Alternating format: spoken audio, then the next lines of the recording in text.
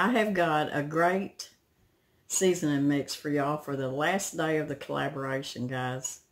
And this is a really good seasoning mix, and y'all going to love it. And if you're a foodie like me, it's going to be, it makes a really pretty seasoning mix too to put in your jar. And if you like to give gifts of your homemade seasonings, this is going to be one of them because it's really pretty when you get it made up. Making today is a infused coarse sea salt. And uh, this sea salt, it just, it gives poultry, pork, um, fish, especially fish, even your vegetables like your butternut squash and your sweet potatoes, it gives it such a wonderful flavor. And it's infused with rosemary, thyme, and uh, we've got orange zest, and we're even going to put a little bit of the fresh orange juice. So let's get started and y'all going to see how I do this. And I've got two cups of coarse sea salt here.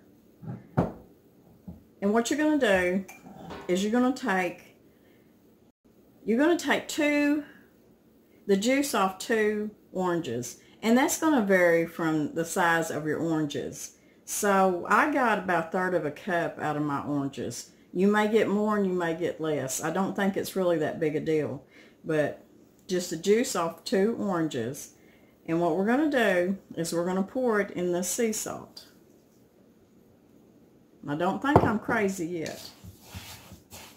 And you just want to stir that up good. And you can do this with lemon and lime too. But the orange, uh, it just gives chicken such a good fresh flavor. Okay, I've got the zest of um, six oranges. So you're going to want at least six oranges. And uh, I didn't measure it. I just took the zest off six oranges. So your oranges may be bigger than mine, may be smaller than mine. So just whatever you get, that's just fine. So that's the zest off of six oranges. Now, the recipe calls for navel oranges. Now, I can tell you that my local grocery store, the navel oranges just have not been very good. Well, I've seen these oranges, and I'm probably saying this wrong, and y'all may see them at Walmart, but they're called Cara Cara oranges. It's C-A-R-A, C-A-R-A. And they have been really good oranges, so that's what I'm using. You just want a really good orange because, you know, it's going to make a really good infused sea salt. Now you can use uh, Himalayan salt, but you, you want it to be coarse. You don't want it to be the, the fine salt. Let's see, we got Himalayan, Celtic sea salt. You've got English coarse sea salt, and you got a Mediterranean sea salt.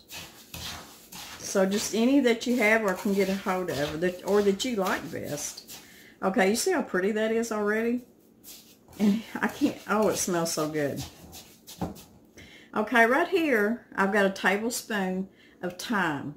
Now, this is where, um, this time of year, I don't have fresh thyme out in the garden.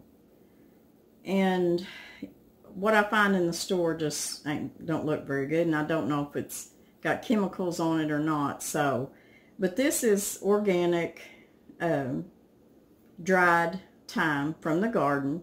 So I'm going to be using my dried herbs this time of year. If it was during the summer when all my herbs are up and doing good, we'd be using the fresh herbs. So I've got a tablespoon of thyme, and it's going right in there. And this is dried rosemary. And there's three tablespoons of rosemary. So you can imagine how good this is going to be on chicken and fish with all that rosemary and all the citrus and, and the thyme. And uh, that's all there is to it. Now, I know what you're thinking. You're thinking, now that's awful wet. How are you going to jar that up? what you're going to do once you get this mixed up good and get all your herbs mixed up good, we're going to spread it out on this cookie sheet. I've got my oven heated to 220, 220 degrees. I'm going to spread this infused sea salt out on my sheet pan here. And I'm going to put it in the oven for 30 minutes. And every once in a while, I'm going to go in there and I'm going to stir it around. And in 30 minutes, I'm going to check it. And if my sea salt is good and dry, then it's ready to take out. If it still feels just a little bit moist, you leave it in there just a little bit longer, but you just want to keep checking it to see if it's dry yet. So we're just going to put it out here on this dry sheet pan. Oh, it just smells wonderful. I just, this is the best smell, I tell you what. And I want to tell you something else about this too. Not only do you just use it for cooking, you can put this in a facial scrub. You can use you a little bit of olive oil, grapeseed oil, coconut oil, and put you some of this infused uh, sea salt in it and make you a, a scrub for your face. You can also put in your bathtub you could put a half a cup of this into your bath water with a little bit of Epsom salt and maybe just a little bit of baking soda. And you talk about a wonderful bath. It'd be just wonderful. So there's different ways you can use this infused salt. And I just think it's wonderful. And I don't know if anybody else is having trouble with flies this year, but they are They are just, they're driving me nuts. They're, they're going to be really bad, y'all. And the mosquitoes are too. They're already starting in. They're just, it didn't get cold enough this year, I guess. We got, we had no snow, hardly any cold weather. Okay, I feel like I've got that spread out pretty good. So I'm going to put this in a 220 degree oven for 30 minutes. And uh, like I said, I'll be checking it off and on, stirring it a little bit so it'll keep drying as best as it can. And when we get back, it should be dry, and we'll put it in our container.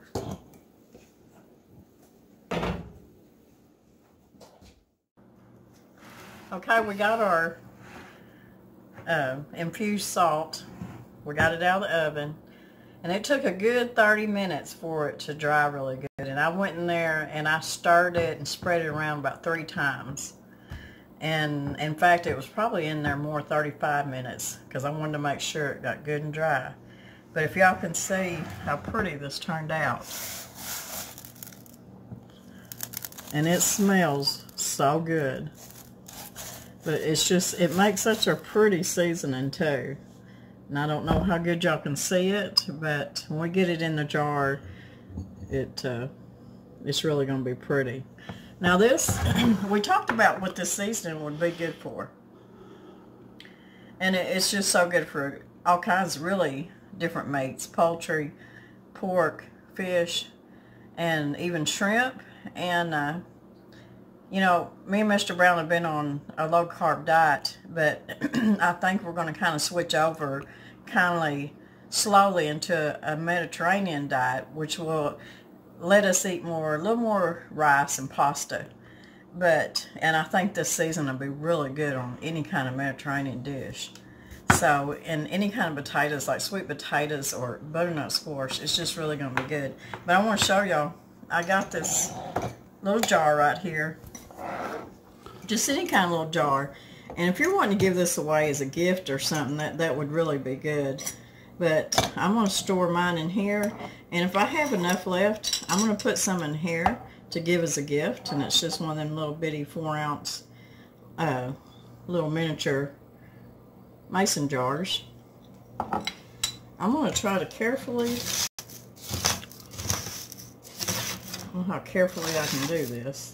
Mr. Brown, you think I can get this in here without making a mess? Absolutely not. Me neither. But we're gonna try. Can you smell? Can you smell this?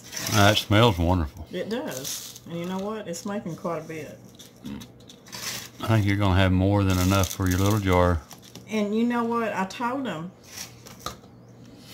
that you can even take this mixture and make uh, a facial scrub with it. You can put it in olive oil or coconut oil or something like that and make your facial scrub. And you can even put it in your bath water with a little bit of Epsom salt and stuff. But You can eat it and bathe with it. yes, it's a very functional... And scrub your face with it. it's a very functional, beautiful seasoning. I ain't never. Well, you have now. But look how pretty it is in that jar. Oh, it's pretty. It is. Makes So- me want to just take a spoon of it and eat it, I, I bet think it'd be really salty. I agree. But I'm going to finish putting these in some jars because I'm going to give them away as gifts. But you could double, triple this recipe, and it does make quite a bit. And uh, I can just imagine this on a roasted chicken. I've been craving fish lately. I'm ready for fish. Well, I'm- we'll put it on some fish too. I want some walleye. Walleye. Well, you're going to have to go catch some. I know it. And uh, all we're getting is rain, and we got another week of rain, and the rivers are muddy, and I know. But anyways, so this is my versatile infused sea salt with orange zest, orange juice, rosemary thyme. I hope y'all like this recipe. I've really enjoyed doing it. and it, it just, it's really good. Um, I've had a good time doing this collaboration with all these other women too.